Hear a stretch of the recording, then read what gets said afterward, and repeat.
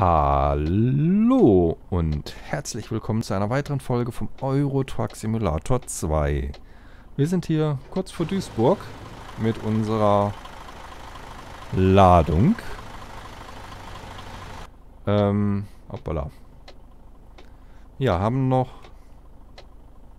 27 Minuten Fahrzeit. Das sind nicht viel, das ging schneller als ich dachte. Ich dachte, wir hätten jetzt noch zwei Stunden Fahrzeit oder so. Das hätte ich ja fast noch in die nächste, letzte Folge reinnehmen können, aber ja. Zu spät. Müssen wir nochmal gucken, was wir diese Folge noch machen können. Äh, wobei ich nehme wahrscheinlich einen Auftrag an, weil ich hab Urlaub. Das heißt, ich kann dann am Montag oder Dienstag äh, noch weitere Folgen aufnehmen, weil ich bin auch mal zwischendrin weg. Und dann bietet sich natürlich an, wenn ich dann schon was vorproduziert habe. Sodass ich da dann... Äh Ups, wir rollen. Ja, sodass ihr dann auch da dann noch die Videos seht.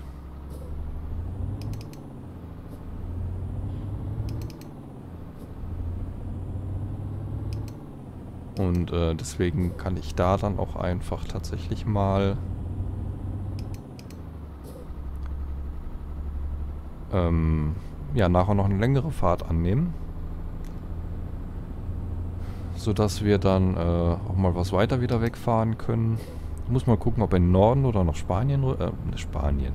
Spanien es nicht. Also gibt schon, aber nicht als Map hier. Oder nur ganz äh, wenig als Map in in ähm, im Eurotruck Simulator. Wir müssen hier gleich abbiegen, das ist gut. 50 dürfen wir. Da sind wir ein bisschen zu schnell, mal wieder.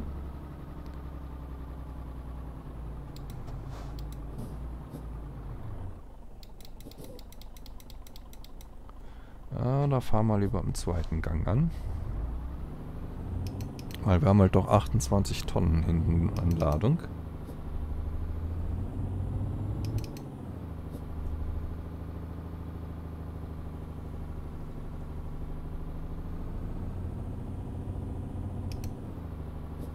Oh, und ich sehe, wir können die Spedition hier kaufen. Sehr schön. Das werden wir natürlich auf jeden Fall machen.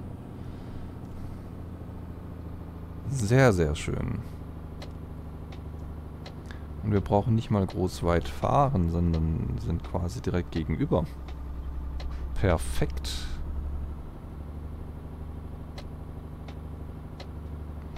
Das ist ja mal richtig perfekt. Jetzt müssen wir aber erstmal ganz perfekt hier einparken. So. Wo gehen wir denn hin? Das machen wir.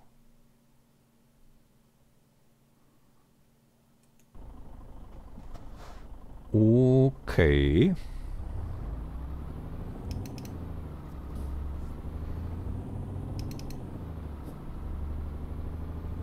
Konnte man sonst auch schon mit dem Schwertransport? Haben wir, glaube ich, noch nicht, oder? Ging das mit denen schon? Ich weiß es gerade gar nicht.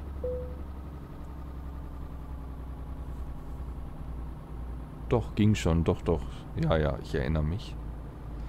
Ich erinnere mich.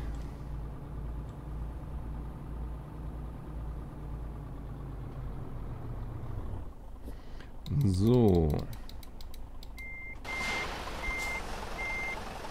Dann wollen wir mal zurücksetzen.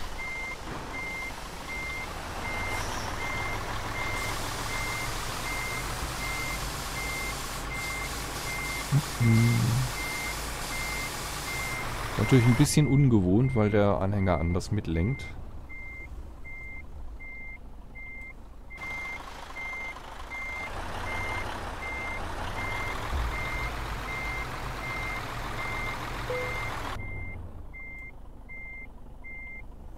Ups.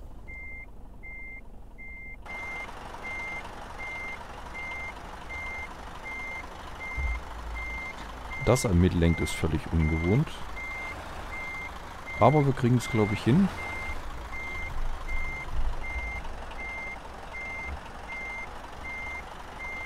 Jawohl, auf den ersten Versuch. Fast perfekt eingepackt. Machen wir mal das Beep, Beep, Beep weg. So, abkoppeln. Oh, ich hoffe, wir verdienen genug. Doch, sieht gut aus. So, fortfahren. König der Straße sind wir. Sehr gut.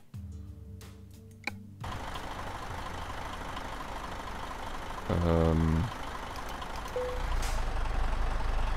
Wir sollten die Handbremse lösen. So. Haben wir genug Geld? Wir haben genug Geld. Äh, dann gehen wir mal shoppen. Weil direkt gegenüber von uns ist wieder eine Spedition, eine Garage, die wir kaufen können.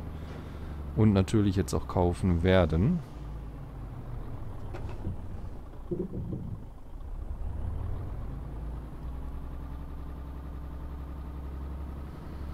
Weil das ist ja eins unserer Ziele. Speditionen zu kaufen. So. Aber sowas von.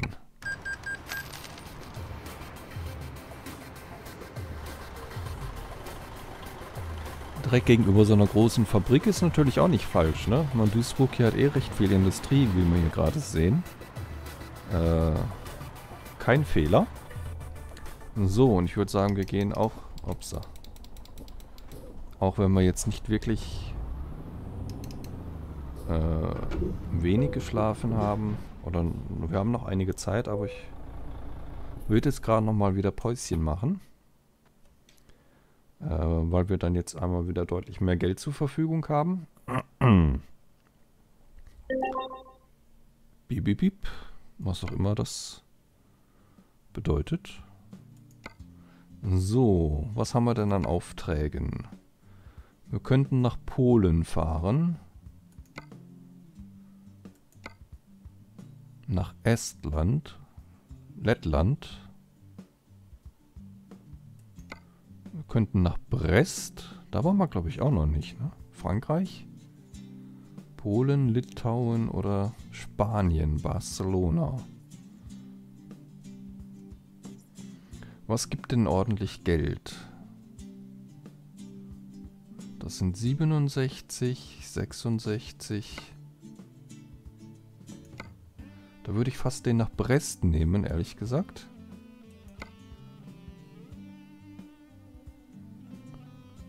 Der sieht ganz interessant aus. Und da, wie gesagt, in dem Eck waren wir, glaube ich, noch nicht. Das heißt, wir hätten mal wieder neue Strecken zu befahren. 14 Stunden Fahrzeit. Ja, machen wir. So, wo müssen wir denn hin? Mit viel Glück nur wieder gerade in die Firma gegenüber. Ne, müssen wir aber nicht. It's raining. Es regnet.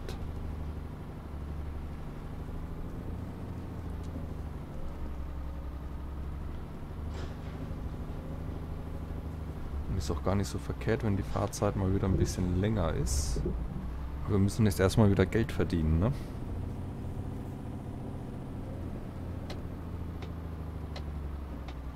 Da ist frei genug. Sogar der hinter uns biegt noch mit ab. Reparieren müssen wir nicht, oder? 3%? Ne, das geht noch.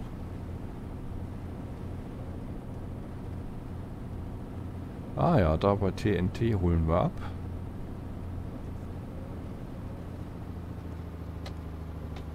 Müssen wir abbiegen, geradeaus können wir nämlich nicht weiterfahren.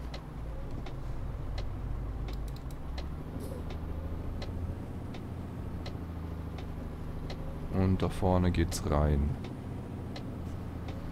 Gut. Blink, blink, blink. Ja, ich habe nicht extra ausgemacht. Oder hat sich auch nicht von alleine abgeschaltet. Ups. fast vorbeigerauscht. So, Auftrag annehmen. Der da ist es, okay.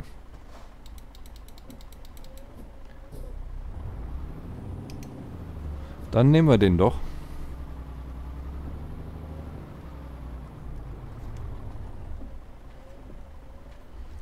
Mhm.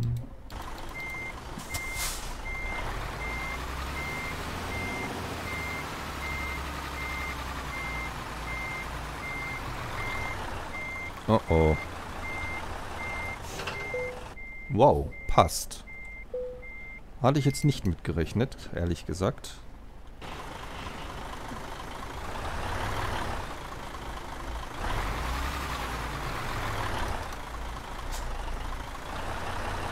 So, es geht auf große Fahrt. Farbkombi ist ein bisschen... Ja, ne? Geht schöner. Aber Hauptsache wir liefern ab. Und wir liefern Heiler ab. Müssen wir gleich mal gucken, was wir eigentlich geladen haben.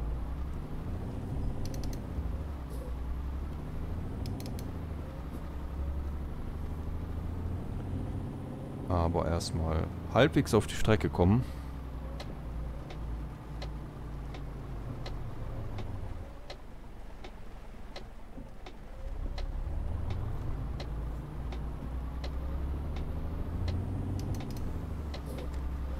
Oder gehen wir doch gerade noch reparieren? Wäre vielleicht kein Fehler, dann haben wir es durch. Und hier haben wir ja, mit dem Anhänger können wir gut drehen. So. Machen wir einfach. Einmal reparieren gerade. Kostet auch nicht so viel. Und wir sind bestens wieder gerüstet.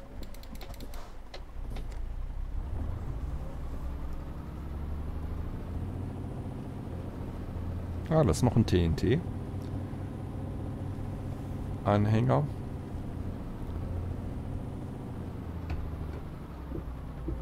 Da ist frei. Da fahren wir doch. Wo ist mein Schaltpaddel? Da. Und wir haben grün. Das ist ja perfekt.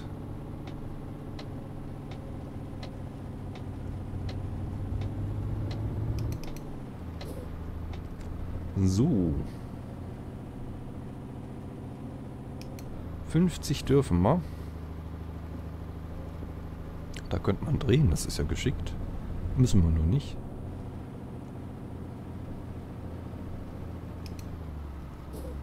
Versuchen wir mal das Tempo zu halten. So, ich bin mal gespannt. Brest, da waren wir noch nicht. Wüsste ich jedenfalls nicht, sagen wir es mal so.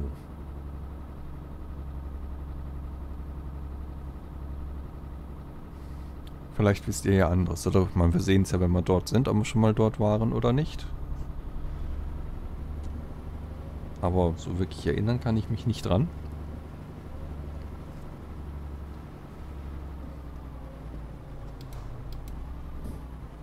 Aber ja, wir sind schon viele Ziele angefahren, ne? Ne, muss ich gar nicht abbiegen, die nächste erst.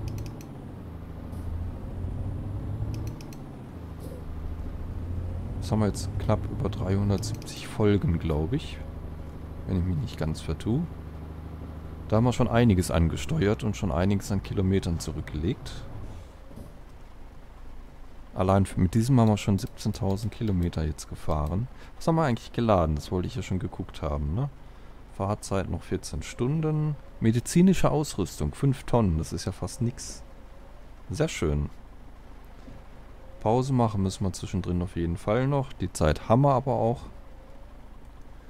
Sehr gut. Das heißt, wir sollten, wenn wir wieder zurück in Deutschland sind, auch wieder eine Spedition kaufen können.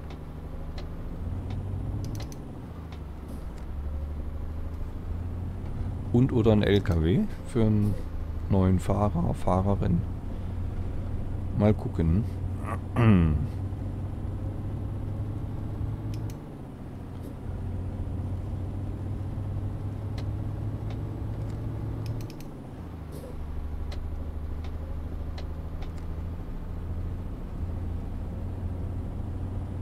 hm.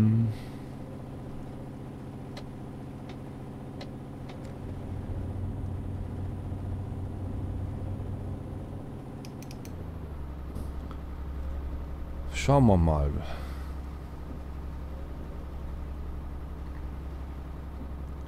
Frankfurt am Main, Köln, Leverkusen. Wir fahren einfach geradeaus weiter. Auf der A3. Sind wir, glaube ich, oder? Wenn ich nicht ganz falsch liege, müsste das die A3 sein. Und wir sind mal wieder zu schnell. Entschuldigung fürs Ausbremsen.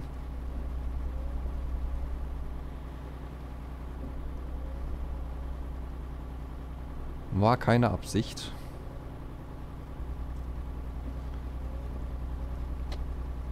So, da kommen wir wieder rechts rüber.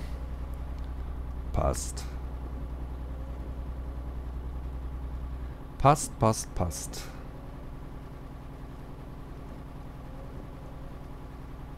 Ja, da werde ich, denke ich, dann Montag oder Dienstag, also heute ist der Sonntag, wo ich aufnehme, nochmal ein paar weitere Folgen aufnehmen, dass ich den Eurotruck Simulator auch noch ein bisschen vorproduziere, weil ähm, ich an dem einen oder anderen Wochenende dann auch zumindest sonntags mal auch unterwegs bin. Ähm, oh, was macht der denn da? Nicht gut. Da hat's gerumst. So wie es aussieht. Oder eine Panne. Äh, ja, wie gesagt, auch den einen oder anderen Sonntag mal unterwegs bin und dann nicht so direkt dazu komme. Und deswegen können wir dann einfach mal ein bisschen vorproduzieren. Oder kann ich. So dass ihr auch schön eure Folgen sehen könnt und wir hier auch nicht Gefahr laufen, ähm, unseren Auftrag zu verlieren, bevor wir angekommen sind. Es wäre schade drum.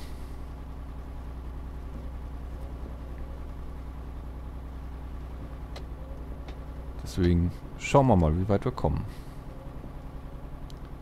Dreispurig, das passt. Auf der A4, okay.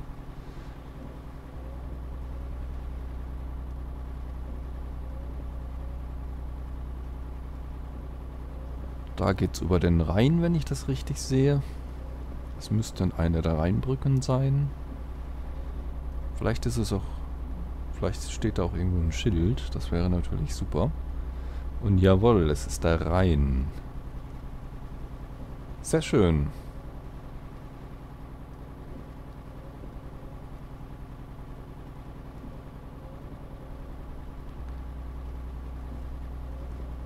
Ist dann immer noch so Kindheitserinnerungen, wenn es über den Rhein geht. Man über die A4 bin sind wir seltener gefahren, meistens über die A1 Richtung Norddeutschland hoch dann. Und da geht es ja über die Leverkusener Rheinbrücke, die ja auch immer mehr zerfällt. Ich glaube, inzwischen dürfen nur noch Fahrzeuge bis knapp über zwei Tonnen oder so drüber fahren, wenn ich es richtig weiß. Alle anderen werden äh, rausgeschickt. Und auch rigoros rausgeschickt. Ähm, Vorher gab es dann nur quasi Blitzer und es hat dann halt viele LKW-Fahrer nicht interessiert. Und sind trotzdem drüber gefahren. Entweder weil sie aus dem Ausland kamen und eh keine Strafverfolgung zu befürchten hatten. Oder aber weil es billiger war, da drüber zu fahren. Ich weiß es nicht. Ähm, ja, das hat der Brücke natürlich nicht gut getan. Also sie ging dann schneller kaputt, als wie sie repariert werden konnte. Woraufhin dann äh, irgendwie so eine Art Schrankensystem da installiert wurde. Ich habe es ehrlich gesagt noch nicht gesehen, seitdem das dort ist. Welches halt die äh, die LKW oder schwereren Fahrzeuge dann ausleitet.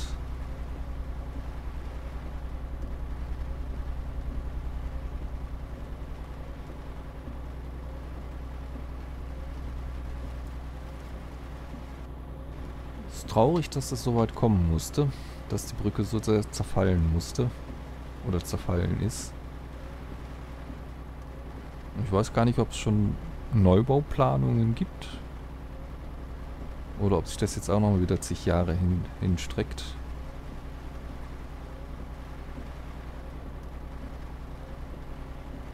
Das ist immer so ein bisschen traurig. Da wird sich um irgendwelche Asyl Asylzentren und sonstiges gestritten, aber äh, gegen den Zerfall der Infrastruktur hier in, in Deutschland, Schulen, Straßen, Brücken, äh, tut man einfach nichts. Oder nicht viel. Es wird einfach billigend hingenommen, wird ausgesessen. Und ja, die Nachfolgegeneration an Politikern hat dann ein echtes Problem. Gleiche ja, Breitbandausbau.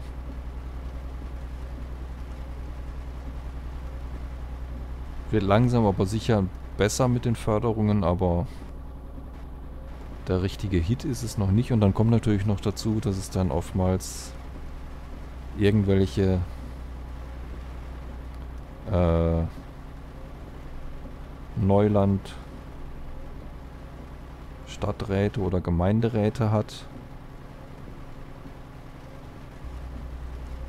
die Internet für unnützes Zeug oder Glasfaser-Internet für unnützes Zeug halten, weil sie selber nicht viel mehr machen als E-Mails abrufen.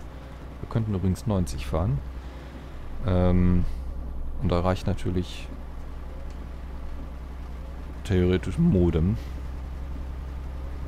Ähm, aber zu sehen, dass äh, gerade auf dem Dorf, wo eh nicht mehr viel ist, äh, die einzige Möglichkeit ist, junge Leute zu halten oder zu wieder herzulocken, äh, funktionierendes Internet ist, geht bei denen irgendwie völlig vorbei.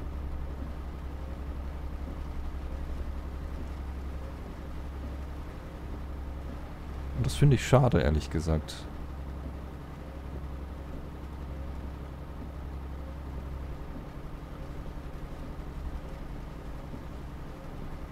Oh, und wie ich sehe, ist die Zeit schon wieder um. Ähm, ich muss gerade mal gucken, ob es hier einen Parkplatz in nächster Nähe gibt. Nein, tut es nicht. Hm. Fahren wir noch bis zu dem Rastplatz da hinten? Oder machen wir hier einen Cut?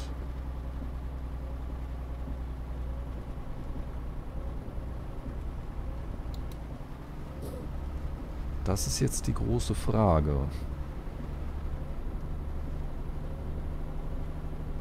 Ich glaube, ich mache hier einen Cut. Und äh, fahre hier mal einfach rechts ran.